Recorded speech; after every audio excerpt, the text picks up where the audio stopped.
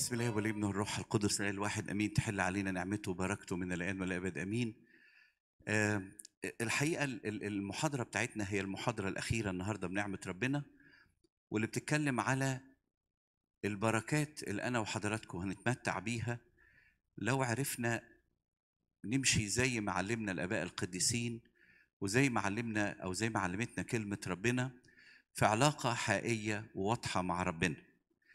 لو حضراتكم فاكرين إنه إحنا آخر سلسلة في الوعظات ثلاث محاضرات كنا بنتكلم على العلاقات المشوهة أو الأفكار المشوهة عن ربنا واتفقنا إنه إحنا عندنا ثلاث محددات أو حاجات بتساعدنا في التعامل مع الأفكار دي لإنه عدو الخير بيشوه العلاقة تعليم الخاطئ بيشوه العلاقة نظرتنا عن الأسرة والمجتمع اللي حوالينا بيشوه العلاقة أي أحداث بنمر بيها صعبة في حياتنا ممكن تشوه إحساسنا وعلاقتنا ومفهومنا عن ربنا. واتفقنا إن في ثلاث محددات مهمين. قلنا إن في حاجة اسمها الشمولية وهي تعني أن الله في كل الصفات المميزة والجيدة إلى أقصى درجة ولكن هي صفات متنوعة باكج من الصفات الكويسة. زي إنه حنين وإنه مراحمه واسعة وزي إنه إله محب وإنه ممتلئ محبة وزي إنه أيضا صالح وإنه عادل. وإنه الحقيقة ما ينفعش يبقى عامل مش واخد باله من الشر وبيتعامل معانا على إنه ده أمر عادي أو أمر طبيعي. في نفس الوقت اتفقنا إنه إحنا بنترك أمور كتيرة في حياتنا وإحنا عندنا ثقة في حكمة ربنا. وزي ما قال الكتاب أن كل الأشياء تعمل معا للخير للذين يحبون الله. حكمة ربنا حكمة لا نهائية هو مصدر الحكمة وأطلق على أقلوم الإبن هو اقلوم الكلمة أو الحكمة وبالتالي هو بيعرف يميز قوي. مين اللي يطول باله عليه؟ مين اللي يشد عليه؟ إمتى يطبطب؟ إمتى يزعق؟ إمتى يعلي صوته؟ وإمتى مرة تانية يوضح لنا إنه ما كانش عايز ياخد المواقف الصعبة دي والتأديبات لولا إنه الإنسان مننا زاد فيها يعني واستهان بغنى لطف الله. اتفقنا أيضا إنه برضو في جفرن مهم جدا يتحكم في تعاملات الله معانا وهو المحبة الكاملة. إن الله لأنه بيحبنا محبة كاملة ولأنه الحقيقة بيقف معانا على الأرض وبيساعدنا في أمورنا الأرضية ولكن مش هو ده الهدف الأساسي. لأنه قال لنا بوضوح اطلبوا أولا ملكوت الله وبره وهذه كلها تزاد لكم. عشان كده آه الله ساعات بيسمح ببعض الأحداث اللي تبقى الظاهر إنها مش في مصلحتنا ولكن بيبقى في الآخر مفروض هدفها خلاص نفوسنا وابديتنا ويمكن أنا اديت لحضراتكم المثل اللي كنت دايما أفكر فيه وأنا شاب صغير. هو ليه كنيستنا القبطية الأرثوذكسية في مصر مرت بظروف صعبة على مستوى حقب كتيرة وأحداث كانت صعبة من ضغوط واضطهادات ومشاكل ولكن ما يعرفش قيمة الوضع ده غير الإنسان اللي شاف قد إيه الكنيسة دي زي ما هي تعرضت لاضطهادات ومشاكل. أيضا ظهر منها قديسين وظهر منها شهداء وظهر منها ناس متمسكة بالإيمان وحب ربنا من كل القلب. وبعدين اتفقنا في المحاضرة اللي فاتت بنعمة ربنا إنه عشان الصور دي ما تشوهش وعشان نظرتنا لربنا تبقى النظرة اللي ربنا خلقنا علشان نعرفها وهي إنه أبونا السماوي اللي خلقنا على صورته ومثاله واللي خلقنا على شبهه الحقيقة إحنا كنا محتاجين نفتح أربع حاجات وده اللي اتكلمنا عنه في المحاضرة اللي فاتت بنعمة ربنا. حد فاكر المرة اللي فاتت اتكلمنا عن إيه الحاجات اللي إحنا محتاجين نفتحها عشان نقدر بنعمة ربنا نفهم ربنا بطريقة مظبوطة؟ اتفضل يا حبيبي. أول حاجة نفتحها هو الكتاب المقدس لأنه كلمة الله حية وفعالة وأمضى من كل سيف إيه؟ ذي حدين. والآباء هم بيتأملوا في الآية دي يقول لك ليه كلمة ربنا ليها سيف ذي حدين أو أحمى من سيف ذي حدين. هو إيه أصلا السيف اللي ذي حدين ده؟ قال لك ده سيف من الناحيتين بيعور من الناحيتين بيقطع. أي سيف في العادي كان تبقى في ناحية تلمة ما بتعورش وفي ناحية تانية إيه؟ حادة. عشان اللي بيمسك السيف ويحارب بيه مهما كان متمكن وارد إنه في حاجة تخبط فيه يعني. فيبقى عاملين حسابنا اللي هيخبط فيه ده إيه؟ يعني هو يقدر ياخد باله من ناحية يعني. لكن صعب قوي ياخد باله منين؟ من الناحيتين. فيبقى في ناحية تلمة حتى لو حصل اندفاع ما يتعورش. كلمة ربنا أمضى من كل سيف ذي حدين. ليه بقى؟ قال لك لأنها من الناحيتين بتقطع. اولا اللي ماسكها هو ربنا. فإحنا ما بنقلقش عليه. هو بيعرف يتعامل مع السيف ده بطريقة إيه؟ غير عادية. لكن ليه ليها ناحيتين؟ الاباء بيتأملوا تأمل حلو. يقول لك في ناحية من خلالها بندافع عن الإيمان. في ناحية كده حادة بيها أنا وحضراتكم ندافع عن الإيمان. مش السيد المسيح قال كده؟ قال هلك شعبي منين؟ من عدم المعرفة. دي في آية في هوشع مش كده؟ وجي في العهد الجديد قال للكتبة والفريسين إيه؟ فتشوا الكتب لأنكم تظنون أن لكم فيها حياة وهي إيه؟ تشهد لي. كلام ربنا في العهد القديم والنبوات والأحداث اللي اتحققت عن شخص المسيح في العهد الجديد هو سلاح ندافع بيه عن الإيمان. ندافع بيه عن عظيم هو سر التقوى الله ظهر فين؟ في الجسد. أدي لحضراتكم مثل. يعني يجي واحد مثلا يقول لنا إيه زي ما بعض الناس بتظهر لنا دلوقتي في المقدر جديد وتقول الكلام اللي من النوع ده. تقول لك يعني إحنا إيماننا قريب من بعضه قوي. المسيحيين وغير المسيحيين إيمانهم قريب. بس أنتوا يمكن كمسيحيين من كتر حبكم للمسيح بلغتوا شوية في تكريمه. فنقول لهم يعني إيه بلغنا في تكريمه؟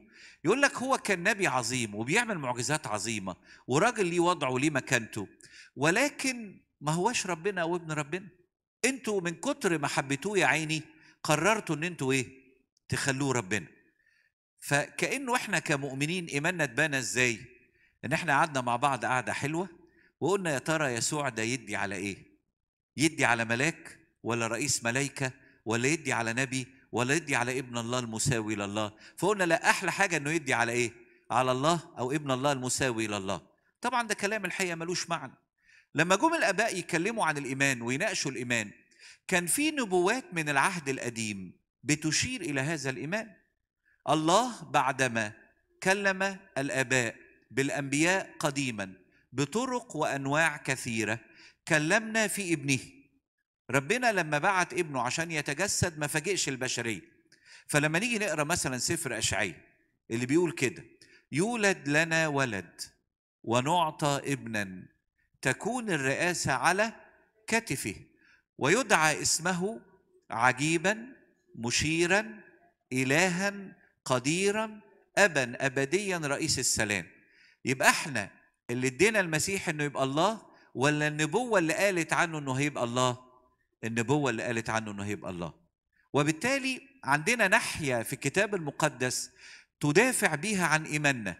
ولما يجي أي حد يقول كلام غير حي نقول له حبيبي النبوات دي عندنا وعند اليهود باللغة العبرية من العهد القديم وإحنا لا قربنا منها ولا غيرناها. النبوة بتتكلم إنه هيتولد لنا ولد يعني يبقى عنده جسد وفي نفس الوقت يدعى اسمه إيه؟ عجيبا مشيرا الها قديرا ابا ابديا رئيس السلام. طب إيه الناحية التانية بقى بتاعت كلمة ربنا اللي المفروض نفتحها دي؟ كلمة ربنا يا أحبائي ليها ناحية تانية حادة برضو. نعم؟ آه ما هي اللي هو الإيمان. لكن في جزء تاني إنه كلمة ربنا بتقطع روابط الشر اللي جوانا بصوا السيد المسيح يقول لتلاميذه إيه؟ يقول لهم آية في منتهى القوة. يقول لهم أنتم أنقياء. بسبب أو لأجل إيه؟ الكلام الذي كلمتكم به. أتاري كلام ربنا اللي قاله لنا وبعته لنا في الكتاب المقدس من أهم وظائفه إنه يعمل إيه؟ ينقينا ينظفنا. بعض الأشخاص ساعات يقول طب أنا يا أبونا بتقول لي افتح عقلك أو افتح كتابك المقدس عشان تفهم ربنا صح. طب والأفكار اللي بقالها سنين مشوهة وبتخش عن ربنا؟ طب الأفكار اللي كالها الجراد دي تتصلح إزاي؟ ما تقلقش المسيح للمجد قادر قادر إنه ينظف الدماغ وقادر إنه يطلع الطين والخطايا والشهوات والأفكار الصعبة وقادر إنه ينقي الفكر وقادر إنه يجعل القلب نقي. فالناحية التانية بتاعة السيف اللي ذي حدين بتعمل إيه يا أحبائي؟ بتقطع روابط الشر اللي جوه قلوبنا وعقولنا بتخلينا أنقياء بسبب الكلام الذي إيه؟ كلمنا به الله. وعشان كده أول حاجة اتكلمنا عنها امبارح افتح كتابك واقرأ. لأنك لما هتفتح كتابك وتقرأ هتتمتع بحاجات كتير. واتفقنا إنك لا تقاوح وتقول لا الكلام ده ما يخصنيش. ولا تتعامل مع كلام ربنا ووصيته على إنه تقل وليه ربنا بيتحكم فينا. اتفقنا ربنا ده أبونا السماوي. أنا عايز أقول لكم أحبائي صدقوني شفت كده.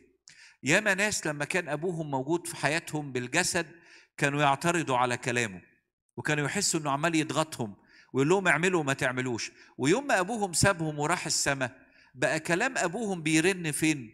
في دماغهم وبيبقوا نفسهم يرجع بيهم الزمن عشان يسمعوا منه كمان وكمان وكمان. الله بيتعامل معانا كأب سماوي بيبعت لنا الوصايا اللي من خلالها بنتغير وبنتصلح. اتفقنا إيه كمان امبارح؟ نفتح إيه كمان امبارح عشان نعرف ربنا كويس؟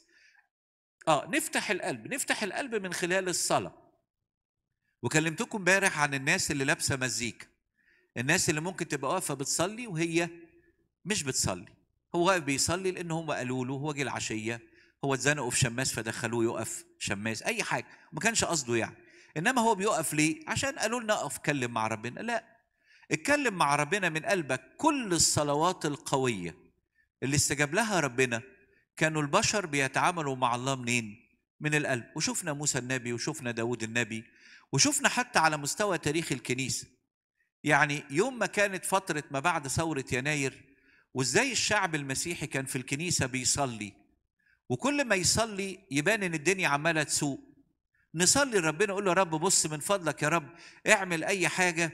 المهم يبقى للبلد نسبة في مجلس الشعب يكونوا شوية broad minded يعني. مش عايزين نتحط في ظروف سودة ويجوا ناس يحكمونا بأفكار قديمة أو أفكار مش مناسبة لينا. يوم ربنا في الأول يسمح بإن هم يجوا الغالبية. نقول له طب بص يا رب مجلس الشورى بقى. يعني إحنا اتكلمنا في مجلس الشعب وهي عدت وباظت باظت. طب الحقنا حتى في مجلس الشورى فيصلوا. فيجي مجلس الشورى إذا كان الشعب 60 ل 40 الشورى بقى 70 ل 30 فالدنيا بتسوق. وبعدين يجي في انتخابات الرئاسة يبقى في خمسة. نقول له طب يا رب اختار أي واحد أي واحد. ما عدا ده يوم ربنا يسمح بإيه؟ إنه يجي واحد وهو ده اللي ما كناش عايزين. طبعا إحنا ما كناش عايزين ناس تاني بس ده أكترهم يجي هو. طب ليه يا رب كده؟ وتلاقي الناس تصرخ لله من اعماقها الحقنا يا رب ومد إيدك يا رب. إحنا كنا متخيلين إنك هتسمعنا وصلواتنا دي هتستجيب ليها. لكن شفنا في الآخر إن كل اللي حصل ده مع صلوات الناس الله ترجمه لشيء إلى الآن إلى الآن. لا نتخيله. إلى الآن مش مصدقينه. إلى الآن لما تتوقع الكلام ده وتفكر فيه تقول إيه؟ الكلام ده مش حقيقي ومش طبيعي. إزاي حصل كده؟ وإزاي وصلنا لكده؟ وإزاي ربنا كان ليه خطة مختلفة؟ لكنه بالتأكيد استجاب لصلواتنا. والصلوات ناس كتيرة قوي لأجل الكنيسة ولأجل مصر. وحماها من كوارث كبيرة. لولا إن هو تدخل وشاف ناس بتصلي فتح قلبها. افتح قلبك تعرف تشوف عمل ربنا وتسلم له حياتك وتفهم خطته لحياتك. النقطة الثالثة قلنا إيه بقى؟ افتح عقلك. قلنا التعبير بتاع الابن الضال الذي رجع إلى نفسه قعد مع نفسه وشاف بهدلة الخطية وشاف العالم مودينا لناحية شكلها إيه وشاف الأمور اللي بيحط سلامها في العالم حط سلامه فيها. يعني أنا سلامي في الأكل في الشرب في الإمكانيات في الظروف. وشوف قد إيه إنه الإمكانيات والظروف دي ما بتعملش حاجة. بالعكس جايز تسكن لنا بعض المشاعر السلبية. جايز تدينا درجة من درجات الاطمئنان. لكن السلام الحقيقي ما بيجيش منين؟ من العالم. افتح عقلك زي ما فتح الابن الضال. وقال لا عرفت أحط سلامي لا في الفلوس ولا في حريتي الشخصية ولا في أصحابي اللي فسدوني وبعدوني عن ربنا ولا في الشهوات اللي كنت متخيل إنها بتسعدني. وبالتالي كم من أجير كم من أجير كم من واحد عند أبويا يفضل عنه الأجر وأنا إيه؟ أتدور جوع. ده أنا اتبهدلت قوي. لو الواحد فينا يا جماعة قعد مع نفسه وحاسب نفسه وشاف عمل الله في حياته هيعرف قد إيه هو بيبهدل نفسه على الفاضي؟ وإنه محتاج يرجع يقعد مع ربنا ويتكلم معاه ويشوف عمله في حياته ويشكر ربنا على عمله في حياته. ويقول له زي ما قال له بطرس الرسول إلى من يا رب نذهب وكلام الحياة الأبدية إيه؟ عندك إحنا ملناش غيرك. إحنا مش هنسيبك يعني مش هنسيبك. ظروف تتغير مكان يتغير الدنيا تبقى كويسة الدنيا تبقى وحشة إحنا ملناش غيرك. وقلنا النقطة الأخيرة كانت إيه؟ افتح ودانك. افتح ودانك. افتح ودانك لتعليم الكنيسة ووصايا الكنيسة. افتح ودانك لإرشاد أب اعترافك افتح ودانك لكل حاجة بتقدم لك جوه الكنيسة علشان تنمو في علاقة بربنا واوعى تتعامل مع الكنيسة على إنها بتلغيك أو بتغير شخصيتك أو حرية إرادتك. بالعكس الكنيسة مش بتفرض الصيام الكنيسة بتشجع على الصيام. الكنيسة مش بتجبرك تصلي الكنيسة بتشجعك تتعلم تصلي. الكنيسة مش بتقول لك نفذ كلام ربنا غصب عنك وإلا. الكنيسة بتقول لك حبيبي هو ده أبوك اللي عنده كل الصالح ليك من فضلك اسمع كلامه. تعامل مع الكنيسة على إنها فلك نوح اللي بيحميني ويحميكم من طوفان بحر هذا العالم واللي بيحمينا من فكرة الغلاء. واتفقنا الغلاء مش معناها الدولار علي ولا نزل. الغلاء إنه كلمة ربنا في العالم اللي نعيش فيه تبقى كلمة غالية كلمة قليلة كلمة شحة في السوق مش موجودة وبالتالي نقعد ندور عليها. كنيستنا من ضمن البركات اللي إحنا بنتمتع بيها إنها بتكلمنا وبتبعت لنا رسائل واتفقنا وشفنا إن كنيستنا طول عمرها بتطلع قديسين وشهداء. والله لا يترك نفسه ابدا بلا إيه؟ شاهد. عمر ما ربنا في يوم من الأيام هيمنع القداسة وال- والعلاقة الحية ما بين شعب كنيسته وما بينه لأنه هو عايز الناس تروح للسماء وتروح للأبدية. فأرجوك افتح ودانك واسمع افتح ودانك واهتم وحتى مع بيتك ومع أولادك شجعهم. وما تتكلمش كتير عن السلبيات ما إحنا متفقين. كل مكان على الأرض فيه إيه؟ في سلبيات. إحنا مش عايشين في الأبدية. لكن أنت النهارده لما تقعد تتكلم في السلبيات وأبونا عمل والأنبا عمل وسيدنا عمل ما الحقيقة أنت بتعصر نفسك وبتعصر الإيه؟ الآخرين لأن اتفقنا إن من أخطر مصادر العثرة اللي عدو الخير بيلعب عليها حاجة اسمها عثرة الكنيسة. يعني إيه عثرة الكنيسة؟ يعني من ضمن الحاجات ودينا شايفين العالم اللي حوالينا. أنا فاكر كويس قوي رحت مرة دولة أوروبية وللأسف المفروض إنها دولة تبان إنها مسيحية بس أنتوا عارفين يعني غالبية أوروبا ما بقتش دول مسيحية ولا حاجة. فلقيت شاب من الدولة دي حاطط صليب فقلت خير. أديني لقيت واحد مسيحي في وسط ناس كتيرة بشوفهم لا حاطين صلبان ولا فاهمين ده إيه. فبكلمه قال لي آه أنا بؤمن بالمسيح ولكني لا أؤمن بالكنيسة. قلت يا نهار أبيض يعني الوحيد اللي لقيته في البلد دي حاطط صليب يسد نفسي كده؟ فبسأله بقول له حبيبي ليه أنت لا تؤمن بالكنيسة؟ قال لي من وإحنا صغيرين كنا لما نخش علينا الصيام يعدي علينا أبونا سموه الخوري أو الكوري. يطلب مننا خمسين يورو للي ما صامش. يعني اللي ما صامش يعاقبه ياخد منه كام؟ خمسين يورو. فقلت له ما جايز يكون بيشجعكم تصوموا. قال لي لا ما لما كبرنا واشتغلنا كان بيعدي علينا قبل الصيام يلم الخمسين يورو. وقال لنا أنا عارف كده كده إن أنتوا إيه؟ مش هتصوموا. فأنا عشان كده معصر من الكنيسة. هي دي لعبة عدو الخير. طبعا في أخطاء. وطبعا ربنا يرحمنا. وطبعا ربنا يستر علينا ويغيرنا. ولكن احذر كنيسة ده بيتك وزي ما قال أحد الأباء القديسين إن لم تكن الكنيسة أمك لا يكون أو لن يكون المسيح إيه؟ أبوك. لو سيبنا الكنيسة وبعدنا يستفرد بينا عدو الخير ويتعبنا ويبعدنا عن ربنا. النهارده بنعمة ربنا هنتكلم بقى على البركات. هيحصل أربع أنواع من البركات. ودول مؤشرات إن إحنا ماشيين بنعمة ربنا في السكة. يعني برضو ساعات الواحد فينا عايز يعرف مؤشرات كده. أخبار الدنيا ماشية إزاي؟ أنا ماشي صح ولا الدنيا بايظة؟ أنا عارف عن ربنا ما هو مظبوط ولا القصة دي مش حقيقية؟ بصوا أول حاجة لما أعرف ربنا تزداد ثقتي في نفسي. والثقة بالنفس هنا مش معناها أنا كبرياء يعني. الثقة بالنفس أنا ما أنا ولكن نعمة الله الإيه؟ العاملة فيا. أستطيع كل شيء في المسيح الذي يقويني. أنا عارف إن بنعمة ربنا أقدر وعارف بنعمة ربنا إنه بيشتغل جوايا وبيستخدمني. إمكانياتي كبيرة أو قليلة بيستخدمني. ضعيف أو قوي هو بيستخدمني. فأول حاجة ودي نقطة مهمة جدا يا أحبائي إنه هفهم إن القصة مش قصة إمكانيات. ولكن عمل الله وقدرته في حياتي يحكي لنا مرة أحد الأباء الأساقفة من عندنا في الكنيسة كنا قاعدين في اجتماع كهنة عن قصة عجيبة قوي. لكن هي بتؤكد المعنى ده.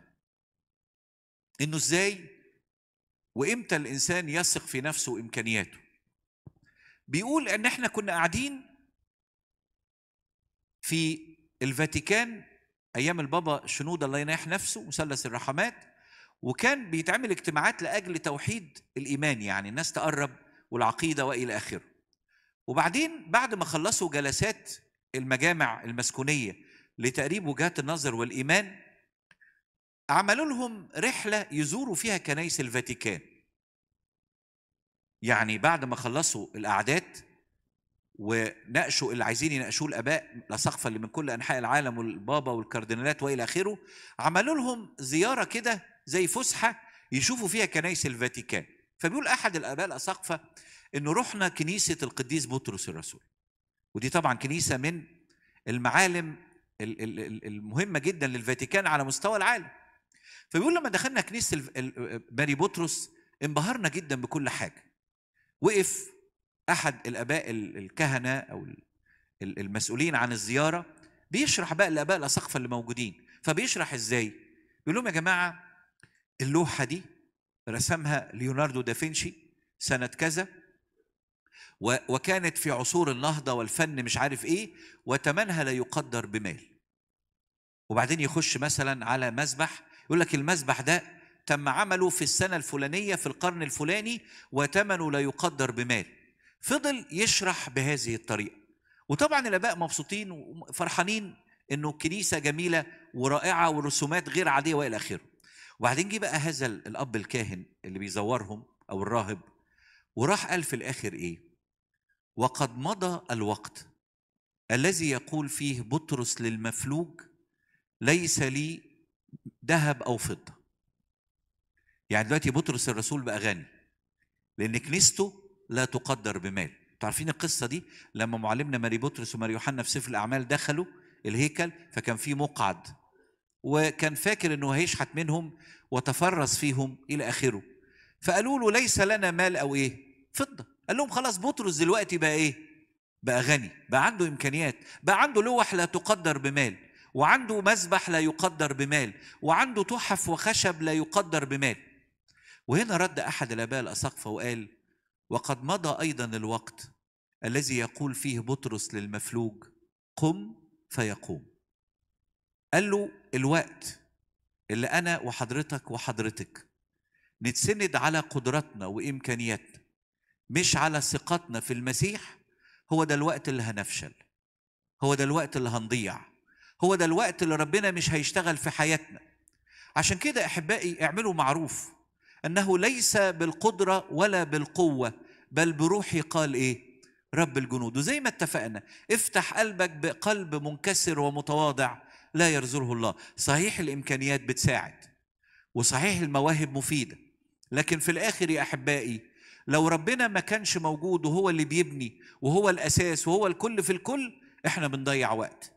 أول شيء مهم جدا يتمتع بيه الشخص اللي فاهم ربنا وعارف هو بيشتغل بيشتغل إزاي في حياته وعارف أسلوبه إيه في الخدمة أو في تغيير الإنسان روحيا إنه يبقى عنده ثقة في نفسه اللي جاية منين؟ من عمل الله مش في قدراته وامكانياته ومواهبه ياما ناس كتير يا جماعة هلكت وبعدت عن ربنا لسقطها في قدراتها وإمكانياتها. وشفنا ناس طلعوا بدع وهرطقات لأن هم كانوا مميزين وموهوبين وعندهم ثقة في أنفسهم وذواتهم. لكن يقول معلمنا بولس الرسول كده اختار الله ضعفاء العالم ليغزي بهم مين؟ الأقوياء. واختار الله جهلاء العالم ليغزي بهم مين؟ الحكماء. بصوا كده للآباء الرسل والتلاميذ وبصوا لقدراتهم وإمكانياتهم وشوفوا إزاي يتقال عنهم أنهم قد فتنوا المسكونة. يعني إيه فتنوا المسكونة؟ يعني عملوا شيء غير عادي. زي ما قلت لحضراتكم سنة 30 ميلاديا يسوع المسيح مات على الصليب. 120 ميلاديا المسيحية تنتشر في أماكن كتيرة من العالم المعروف في الوقت ده. 300 أو 350 ميلاديا أصعب وأبشع إمبراطورية هي الإمبراطورية الرومانية وأعنافهم تصير إمبراطورية مسيحية. إزاي؟ وفين؟ وإمتى؟ وبقوة مين إن شاء الله؟ بقوة ربنا. ليس بالقدرة ولا بالقوة بل بروحي قال إيه؟ رب الجنود. أول حاجة تزداد ثقتي في إيه؟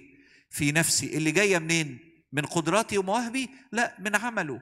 لأنه لو ما عملش يقول الكتاب كده من ذا الذي قال فكان والرب لم يأمر. مين اللي يقدر يقول ويعمل وربنا ما سمحش؟ إحنا بنضيع وقت. نقطة نمرة اتنين تزداد ثقتي أو رجائي في خلاصي. يحكي لنا مرة أبونا بولس إنه كان في اجتماع شباب وكان بيكلم الشباب عن الأبدية. فقال للخدام خلونا نعمل استبيان عارفين الاستبيان؟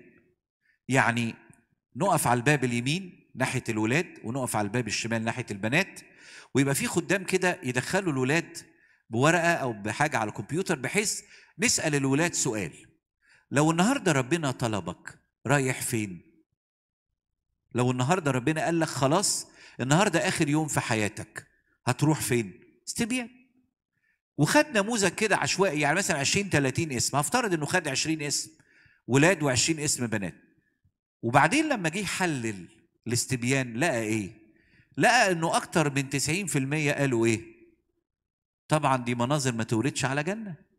دي مناظر أصلا شكلها مش رايحة ابدا للابديه ولا السماء ولا هتعدي على الفردوس من أساسه. وبالتالي طبعا إحنا عارفين رايحين فين.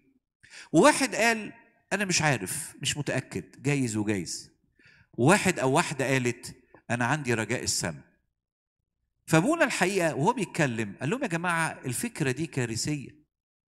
ما حدش فينا بيقول إن إحنا داخلين داخلين لكن بنقول عندنا رجاء إن اللي عمله المسيح ليا ولحضراتكم واتقال عليه كده من العهد القديم أنه ماذا يصنع لكرمي وأنا إيه؟ لم أصنعه. يعني إيه اللي المفروض أعمله وما عملتوش؟ إلهنا اللي اتقال عنه القادر أن يخلص إلى التمام. التعبير ده؟ الهي والهكم يتقال عنه كده. القادر أن يخلص إلى التمام. ويتقال عنه القادر أن يفعل أكثر جدا مما نطلب أو نفتكر. خلي عندك رجاء. رجائك مش معناه إنك تتهاون. رجائك مش معناه إنك تسيب نفسك للخطية. ما إحنا اتكلمنا في محاضرة لو حضراتكم فاكرين من خمس نقط عنوانها كيف أتوب. مش كده ولا ما اتكلمناش؟ اعمل ده وبنعمة ربنا خير. اسعى طول عمرك لده وخلي عندك رجاء وإن شاء الله نعمة ربنا تكمل ضعفتنا ودي نقطة مهمة إنه الإنسان ترجع ثقته في إنه ربنا بيحبه وإنه لما بيبعد بيدور عليه وإنه لما بيقسي قلبه ربنا بيشد عليه عشان يرجع. وإنه ربنا يفضل فاتح له الباب لآخر لحظة من عمره زي اللص اليمين حاطط فيه رجا ودايما بيبعت له رسالة بتقول له أين أنت يا فلان؟ أنت فين يا حبيبي؟ أنت عارف قيمة اللي أنا بدعوك ليه؟ عارف الفرح السماوي الذي لا ينطق به ومجيد أنا عايزك تعيش معايا. يسيبنا ساعات ويحجب وجهه عنا عشان نتخبط شوية ونفوق لنفسنا. طبطب علينا كتير يكلمنا بالراحة. يعلي صوته لكن هو دائما ما يبحث عنا ودائما ما يعطينا رجاء في إيه؟ في السماء والأبدية. وهو ده يا أحبائي الشيء الوحيد اللي بيخلي عندي وعندكم أمل في إن إحنا نتغير. كلنا عارفين قصص لناس قديسين كتير لما عرف إنه عنده ثقة ورجاء في الأبدية والسماء شد حيله وقدم توبه دايما الشيطان يلعب على الحتة دي إنه ما فيكش فايدة. قول لا. في بنعمة ربنا فايدة. ليه؟ لأن ربنا دفع فيا ثمن غالي. قول في بنعمة ربنا فايدة. لأنه ربنا أحبني إلى المنتهى. ولأنه ربنا قادر أن يخلص إلى التمام وقادر أن يفعل أو قادر أن يفعل أكتر جدا مما نطلب أو إيه؟ نفتكر. يبقى نقطة نمرة اتنين هيبقى عندي ثقة في إيه؟ في خلاص نفسي. الله يريد أن الجميع يخلصون وإلى معرفة الحق إيه؟ يقبلون. لا تخف أيها القطيع الصغير لأن أباكم قد إيه؟ سر أن يعطيكم الملكوت. بولس الرسول يقول خلصنا. صار أقرب من حين امنا إحنا خلاص كل يوم بيعدي علينا بنقرب من السماء والأبدية. بنقرب من مسكن الله مع الناس. بنقرب من المكان المفرح اللي اتكلم عنه ربنا. عشان كده ثقتي في خلاص نفسي يحصل لها إيه؟ تزيد. يبقى قلنا حاجتين لغاية دلوقتي. أول حاجة ثقتي في إيه؟ في نفسي. أنا ما أنا ولكن نعمة الله. بلاش تحس إنك ضعيف. اعمل اللي تقدر عليه ويقول الكتاب المقدس كده يستثمن الرب محرقاتك. يعني إيه يستثمن الرب محرقاتك؟ يعني قدم الحاجة الخايبة اللي على قدها اللي تقدر عليها. خليك أمين على قد ما تقدر وربنا يضربها في ألف. ما هو بيستثمن إيه؟ أنت بتقدم فرخي حمام ودي أقل محرقات الله بيعتبرها طور. بتقدم عمل قد كده في الخدمة الله بيشتغل بيه. وياما شفنا كده. ياما شفنا مؤتمرات كنا طالعين موروثين فيها والله بيعمل. ياما شفنا ناس ما كناش عارفين هنخش لهم إزاي ولا نكلمهم عن ربنا إزاي. والله يجيبهم لغاية عندنا. إيه ده بقى إن شاء الله؟ أنا ما أنا ولكن نعمة الله العاملة فيا. والنقطة التانية ثقة ثقتي في خلاصي. إنه عندي رجاء وعندي أمل. طالما بسعى وماشي في سكة التوبة إن شاء الله خير. النقطة الثالثة تزداد ثقتي فيك في ربنا نفسه بقى. الله بالنسبة لي هيتحول إلى كيان حقيقي أنا واثق فيه. كل الآباء القديسين اللي في الكتاب المقدس أو في تاريخ الكنيسة من عشرتهم ومعرفتهم الحقيقية بالله تعامل مع الله على إنه إيه؟ موجود وإنه حي وإنه بيشتغل. وإنه ربنا زي ما قال كده داود النبي. بصوا داود النبي يقول إيه بمنتهى الثقة. وساعات الواحد فينا يستغرب هو ليه إحنا ما عندناش الثقة دي؟ لكن هو يقول ده بمنتهى الثقة رغم إن داود النبي تعرض في شبابه لمراحل صعبة جدا. داود النبي شاول الملك قلب عليه.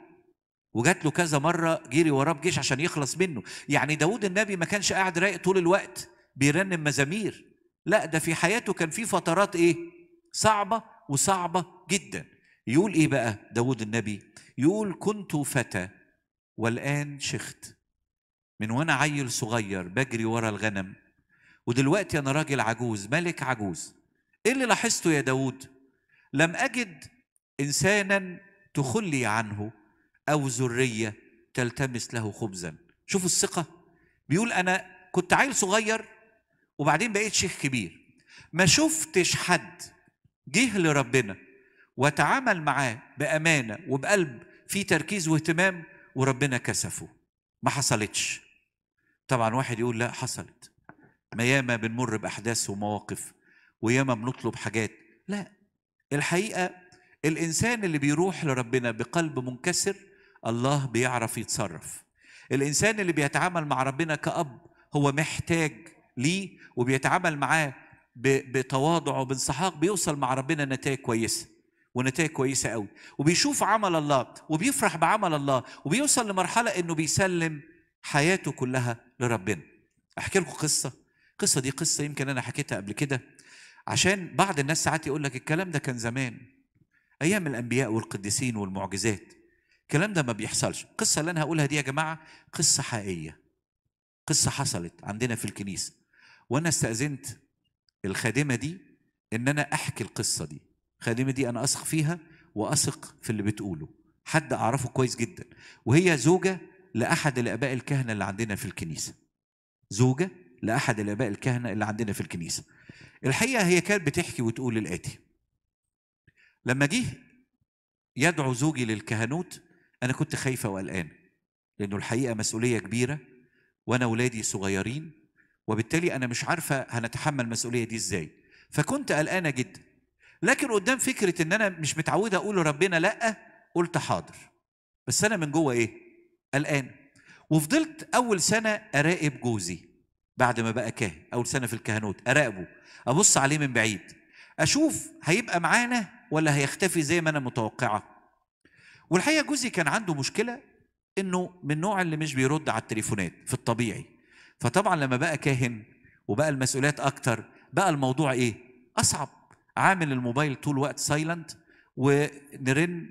فبدأت مع الوقت أتضايق وأتكلم مع ربنا. أقول له بص يا رب أنا وافقت عشان خاطرك بس أنا لو عليا ما كنتش هوافق. فأنا تعبانة من اللي بيحصل. وكل ما تتزنق في حاجة الولد أو البنت سخنين تعمل إيه؟ تتصل بجوزها عشان ياخدها ويروح دكتور ولا مستشفى. وطبعا لأن الموبايل سايلنت غالبية الوقت فإيه اللي بيحصل؟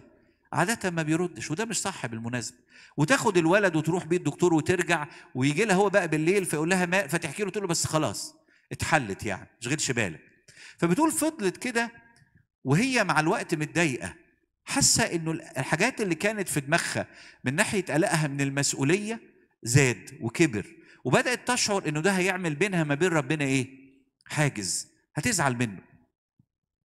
بتقول فضلت أعمل كده وأتخانق معاه في الصلاة وأعمل مطانيات للموضوع ده لأن حسيت إنها داخلة على حرب عنيفة. لغاية ما في يوم من الأيام بتقول إنه أنا كنت وأبونا راكبين العربية وبعدين موصلاه للكنيسة كان عنده اعترافات وطبعا هو في الاعترافات بقى بيقفل الموبايل. يعني هو في الطبيعي عامله سايلنت وفي الاعترافات بيعمل إيه؟ بيقفله عشان ده سر فيعني انسى. عايزه روح له ويا تقابله يا ما تقابلوش. يعني ممكن ما أعرفش اخش له من الزحمة. وبعدين خدت الولاد ورحت بيهم عيد ميلاد حد من صحباتي ولادها فرايحة أجامل. وأنا في السكة حصلت حادثة. خبطت في عربية بس حادثة عنيفة. تحكي الخادمة. والحادثة دي لما نزلت لقت عربيتها متدمرة أولادها الصغيرين قاعدين ورا بيعيطوا والناس طالعين يتخانقوا معاها. فأنا عايزك بقى تتخيل الوضع ده مع النفسية دي. شكلها إيه؟ شيء صعب جدا صعب جدا. وهي من النوع اللي مش بيعرف يرد أو يصطدم. فالطرف التاني اللي كان برضه غلطان عارفين في مصر لما حد يعمل حادثة حتى لو غلطان لازم يغلوش يعني لازم يعلي صوته عشان يقول لك ما اشيلهاش لوحدي. يبقى على الأقل نقسمها أو كل واحد يدفع اللي عليه وخلاص بدل ما أنا أشيل الليلة كلها. فبدأ الطرف الثاني يزعق وانت ما بتشوفيش وانت ويشتم وقصص كده. هي بتقول في اللحظة دي شعرت بضعفي غير العادي وشعرت باحتياجي لله وباحتياجي لزوجي. أنا عارفة كويس قوي إنه في الاعتراف وعارفة كويس قوي إنه مش هيرد. بس أنا اللحظة رفعت قلبي لربنا قلت له بص أنا هرن له وهرن له مرة واحدة. وعلى الله ما يردش. قلت لها أنت قلتي ربنا على الله ما يردش؟ قالت أنا قلت له على الله ما يردش. أنا ساعتها هرمي طوبته وأزعل منك أنت. يعني أنا كنت بزعل منه هو. لا دلوقتي أنا إيه؟ هزعل منك أنت. بتقول لما رنيت له رد وقال أنا جاي لك حالا. وهو أول ما رد وسمعت صوته رحت داخله قاعدة بقى واللي يشتم يشتم ما أنا خلاص حسيت إنه ربنا إيه؟ هو اللي رد. أنا عارفة إنه مفروض ما يردش والطبيعي ما يردش لكن طالما رد يبقى هو فوق بيتصرف. وبعد ما المشكلة خلصت وروحوا بتقول لي سألت أبونا هو أنت رديت إزاي؟ فأبونا ابتسم. قال لها أنت عارفة إن أنا بقفل الموبايل مش كده؟ قالت له آه. قال لها طب أنت عارفة إن أنا كنت فعلا قافل الموبايل؟ قالت له إزاي يعني؟ قافل الموبايل يعني إيه؟ قال لها صدقيني كنت قافل الموبايل. قالت له لا طب احكي لي إيه اللي حصل؟ قال لها أنا دخلت المكتب وقافل الموبايل وبعدين قبل ما تكلميني بعشر دقايق دخل ولد في خمسة أو ستة ابتدائي. الولد ده اعترف عندي حوالي 8 دقايق وبعدين قال لي يا أبونا بارك لي أنا جبت موبايل جديد. قلت له مبروك يا حبيبي. قال لي طب أنا هرن لقدسك عشان قدسك تسجل نمرتي. فأبونا بيقول له بص يا حبيبي أنا بقفل الموبايل أثناء الاعترافات. أرجوك لما أروح على الساعة 10 ونص 11 بالليل رن لي ثلاث أربع مرات ورا بعض. هفهم إن أنت فهسجل نمرتك. فبيقول أبونا قدام إصرار الولد العجيب إن أنا أفتح الموبايل وإن أنا أسجل النمرة قلت هعصره. فقررت أعمل إيه؟ أفتح الموبايل. والحقيقة لما فتحت الموبايل وجه هو يرن لي لقيت نمرتك. تخيلي بيقول لها كده أنا ما لحقتش أسجل نمرة الولد. جيت لك لأنه ربنا قرر إنه يظبط الدنيا ويعمل كل حاجة علشان طبعا خلي بالكم بقى لو كانت دخلت بنت اعترفت كان الست أنكرت المسيح. ليه؟ لأنها هتقعد لها ساعة إلا ربع نص ساعة صح؟ فالحادثة تخلص و... طب لو كان ولد جه من غير موبايل جديد كان برضو أنكرت المسيح. فمين قصدي أحبائي؟ قصة دي قصة حقيقية. والإنسانة دي إنسانة حقيقية بتحب ربنا وعندها ضعفاتها. عندها الوقت اللي فيه بتزعل من ربنا واللي فيه بتتخانق مع ربنا. بس هي إنسانة تحب الله من قلبها وبتتعامل معاه على انه أبوها.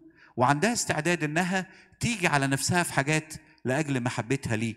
عشان كده قالت زي ما قال داود النبي كنت فتى والآن شخت ولم أجد إنسانا تخلي عنه أو ذرية تلتمس له خبزا. يبقى ثالث حاجة تزداد ثقتي في مين؟ في هو. وبقدر ما الإنسان يبقى جد في علاقته بربنا ويبقى حقيقي في علاقته بربنا بقدر ما يشوف عمل الله في حياته. وساعتها صدقوني هيفرح لأن ربنا بيعبره حتى لو المشكلة اتحلت أو لأ. هيكفيه إحساس إنه ضابط الكل ضابط الكل أنا غالي عليه. بغض النظر الأمور ماشية إزاي إنما هو بيرد عليا بيتعامل معايا بيسندني. آخر حاجة وعند معرفتك معرفة حقيقية تزداد محبتي لحاجتين. لإخواتي الناس اللي حواليا للآخر وتزداد محبتي للسماء ما هو الإنسان اللي يعرف ربنا ده ويلاقي إنه ربنا حلو كده لو جم قالوا له على فكرة في يوم من الأيام هتسيب الدنيا وتروح إلى مسكن الله مع الناس. تروح للمكان اللي فيه لا وجع ولا بكاء ولا حزن ولا ضيق ولا نكد. وهتروح في المكان اللي فيه المسيح واللي فيه الست العذراء واللي فيه القديسين وهتبقى موجود في مكان مفرح. والأمور الأولى قد مضت. لو هو عارف ربنا كويس وفرحان معاه ومتلامس في عمل الله في حياته الحقيقة هيقولوا ماله. بالعكس ده في قديسين بقى قالوا زي ما قال مين؟ بولس الرسول. لي اشتهاء أن أنطلق وأكون مع المسيح؟ ذاك أفضل جدا. الوجود مع الله أمر مفرح. الوجود مع الله أمر مبهج. وما انساش أخويا وأبويا أبونا مين؟ الله ينيح نفسه.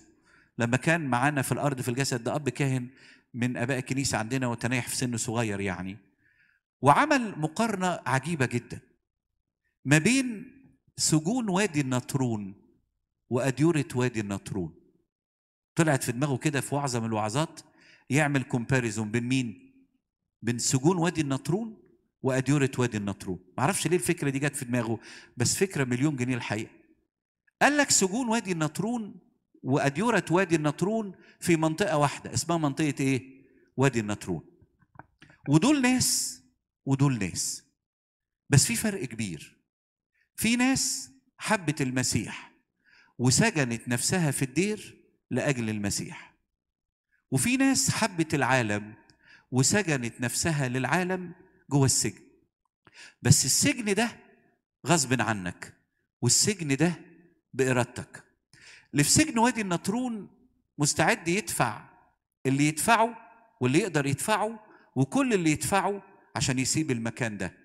بينما اللي في دير وادي النطرون مستعد يدفع عمره كله بس إيه؟ ما يسيبش المكان ده. ليه؟ لأن الوجود مع الله شيء مفرح. وبالتالي الإنسان اللي عارف ربنا كويس وعايش معاه كويس هو عنده الإحساس ده أنه لي اشتهاء أن أنطلق وأكون إيه؟ مع المسيح. أو على الأقل مش رافض. على الأقل مش رافض.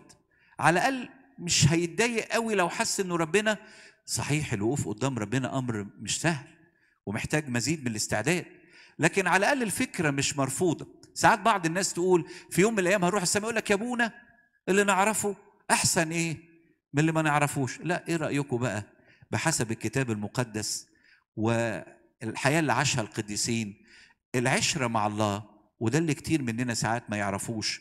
أفضل وأكثر فرحا وأكثر سلاما وأكثر هدوءا من اللي نعرفه وهو العالم. فتزداد محبتي للسماء ورجائي في السماء. واستعدادي انه طب يا رب لو انت شايف ان الوقت ده هروح فيه السماء ماشي يا رب ماشي يا رب. أنا موافق بس بشرط ان أنا أروح عندك فين؟ في السماء وتزداد محبتي للآخرين. الآخر بالنسبة لي مش هتعامل معاه بمفهوم العالم. هو العالم يقول على الآخر إيه؟ أحد الفلاسفة يقول لك الآخر هو الجحيم. مش كده؟ يا ساتر يا رب. آه الآخر هو الجحيم. ما هو ليه الآخر هو الجحيم؟ لأنه الآخر ده متعب قوي. لو كان زميلي في الشغل بيغير مني وعايز ياخد مكاني ولو كانت مراتي مطلعة روحي في تربية العيال والمصاريف عليهم. ولو كانوا عيالي أقعد أربيهم وأصرف عليهم وأدخلهم جامعات يكبروا ويتجوزوا ويسيبوني. وبالتالي مع الوقت الآخر يتحول إلى إيه؟ إلى الجحيم. بينما في مفهوم علاقتنا بربنا ومعرفتنا بربنا الآخر ده عطية ربنا. والآخر ده الوصية بتاعت ربنا بطبقها معاه. والآخر ده بمحبتي ليه أقدر أخش ملكوت السماوات. فالآخر ليه مفهوم عند ربنا وعند الناس بتوع ربنا؟ حاجة وليه مفهوم آخر فين؟ في العالم اللي يعرف ربنا كويس. يتعامل مع الآخر على انه هو ده الشخص اللي هيوصله السماء. هتقول لي وصلني السماء؟ ده في آخر بيفقدني سلامي. ده في آخر بيرفع لي الضغط وبيوطي لي السكر. ده في آخر منكد ح- ده في آخر أنا طفشت من البلد عشانه. تقول لي يا ابونا يوصلني السماء آه. تخيل الكتاب المقدس يقول لنا كده صلوا لأجل الذين يسيئون إليكم ويقول لنا إن أحببتم الذين يحبونكم فأي فضل لكم. يا رب بس إحنا مش قادرين. طب على الأقل اطلبوا مني. طب على الأقل صلوا باتضاع إن أنا أغير قلوبكم. أو أحميكم من الشخص ده أو أغير الشخص ده أو أقويكم تستحملوا اللي بيعمله الشخص ده. اطلب مني ده وقول لي يا رب قويني وأنا هعرف أعمل ده.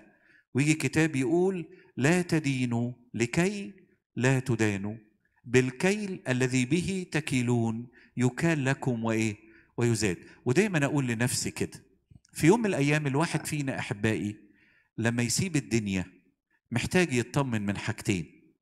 اولا إنه عنده رصيد في علاقته بربنا فيبقى عنده رجاء وثقة في السماء ويبقى في نفس الوقت مقدم محبة للناس علشان الناس تفتكره بإيه؟ بكل ما هو خير. هناك أشخاص لما بتنتهي حياتهم على الأرض كلنا بنقول عليهم كده ربنا يرحمه مطرح ما راح فتفهم يعني إيه ربنا يرحمه مطرح ما راح يعني الرحمة ما تجس غير على الميت. أيوه يعني إيه؟ يعني تفهم إيه؟ إنه كان تعب الدنيا. وكان موجود عشان ذاته وما فكرش إنه يقدم محبة ولا فكر في أعمال محبة ووصية بتنفذ مع الآخر وما فكرش إنه يكنز لنفسه كنز في السماء بينما الشخص اللي بيعرف ربنا كويس هو شخص فاهم كده إن يوم ما يقف قدام ربنا لازم يكون خزن حاجات في السماء أعمال محبة توبة علاقة بربنا حلوة. وفي نفس الوقت يكون عمل رصيد جيد مع الناس. مش شرط إن كل الناس تجمع علي لكن على الأقل أكون أنا بقدم محبة وبقدم اهتمام وبساعد اللي أقدر أساعده. وخلي بالكم الشخص اللي ربنا يديله نعمة ويسنده يديله كمان نعمة في عينين الناس. يقول الكتاب كده إذا أرضت الرب طرق إنسان جعل إيه؟ جميع اعدائه يسالمونه حتى أعدائك وحتى الناس اللي مش بتحبك وحتى الناس اللي رافضاك في يوم من الأيام هتقر إنك مختلف وإن أنت فعلا زي ما قال شاول كده لداود أنت أبر مني. ربنا يديني وديكوا نعمة إن إحنا نتمتع بكل ده. نتمتع بثقتنا في أنفسنا اللي جاية من معونة ربنا لينا. ليس أو لا بالفضة ولا بالذهب أو ولا بالفضة ولا بالإيه بال- بال- بأي حاجة من الإمكانيات بل بروح ربنا. ليس لي مال أو فضة بل باسم رب الجنود لك أقول قم. والحاجة الثانية تزداد ثقتي في خلاصي عندي رجاء طالما بتوب وبحاول إن شاء الله خير.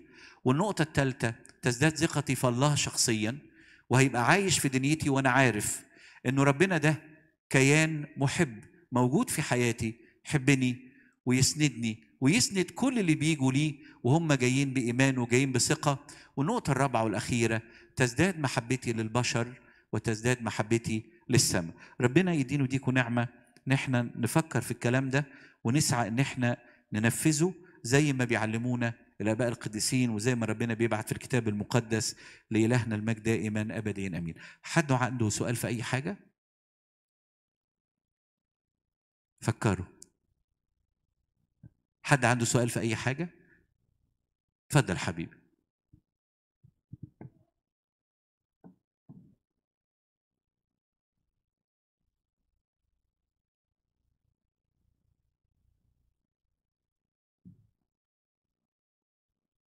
بيستعمل كلمة لعلي.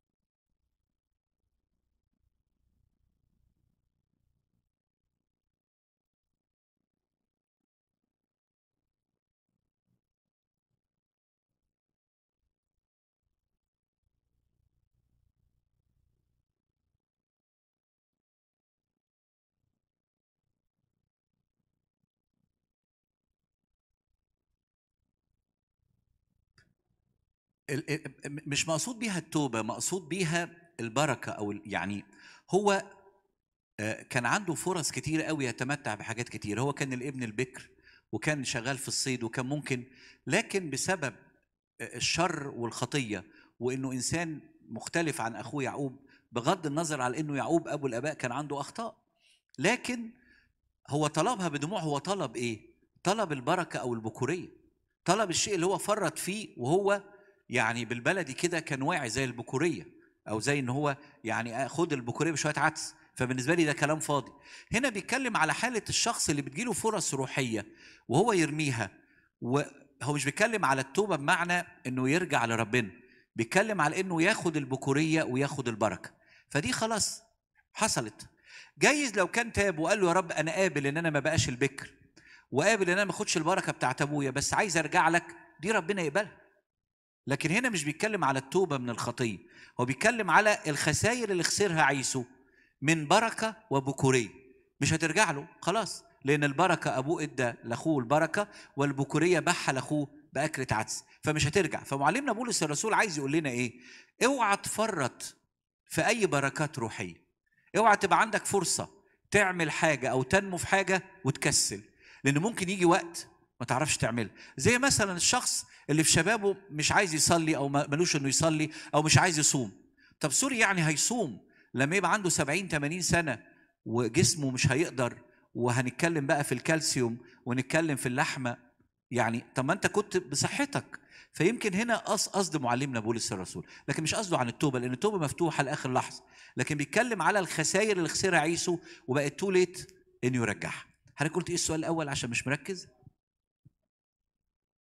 لعلي لعل دي يا جماعة فيها بعد اتضاع من معلمنا بولس الرسول. يعني ما هو ما هو النهارده قال في الآخر معلمنا بولس الرسول جاهدت الجهاد الحسن وأكملت السعي وأخيرا وضع لي. لكن هنا بيقول لعلي لأن هو هنا برضو خلي بالكم في فخ يا أحبائي من فكرة إن أنا وأنتوا نبقى آه، مطمنين مش مش مطمنين لا يعني داخلين داخلين. الفكرة دي في منتهى الخطورة. إحنا عندنا رجاء. وطالما بنحاول في أمل ولو اتسألنا إن شاء الله خير. لكن بلاش فكرة إن الواحد يراهن على إنه حتى الكتاب المقدس يقول كده من يظن نفسه أنه قائم فلينظر ألا إيه؟ يسقط. لأنه ياما ناس كتير ربنا يحميني ويحميكم وأحسن مني وأحسن من ناس كتير خدوا على دماغهم بسبب فكرة إيه؟ إنه مش معقولة يقع الخبطة دي مش معقولة يتحارب الحروب دي مش معقولة يضحك عليه. لا تمموا خلاصكم بإيه؟ بخوف رعده قول يا رب أنا عندي رجاء في السماء وعندي أمل إنك عملت كل شيء عشان أخش السماء. وبحاول أبعد عن الخطية وآخد إرشاد أب اعترافي وبحاول أتناول بانتظام وأصلي وأقول لك يا رب أعني. وعندي رجاء إن في يوم من الأيام لما أقف قد- قدامك حتى لو عندي ضعفات إنك هتقبلني. بس ما أقدرش أقول إن أنا ضامن وكده كده داخل. دي نقطة ممكن في منتهى الخطورة تبعدني عن ربنا وتديني كبرياء واقع في مشاكل ضخمة. فهنا لعلي فيها بعد تواضع وفي نفس الوقت فيها بعد إنه لأ أنا لازم أفوق نفسي. لعلي ده تعبير يقلقني ويقلق أي حد بيسمعه عشان كل واحد إيه؟ يشد حيله. مش عشان نفقد الرجاء مش عشان نقول مفيش أمل لأ في بنعمة ربنا أمل. حد عنده سؤال تاني؟ لإلهنا المجد دائما ابدا آمين. كل مرة وأنتم طيبين.